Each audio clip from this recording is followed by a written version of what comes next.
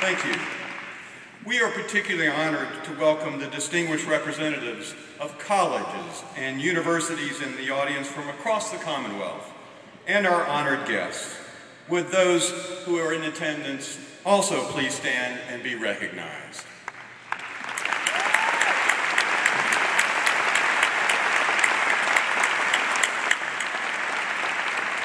Thank you very much. At this time, I'd like to introduce some of those with whom we share the platform today.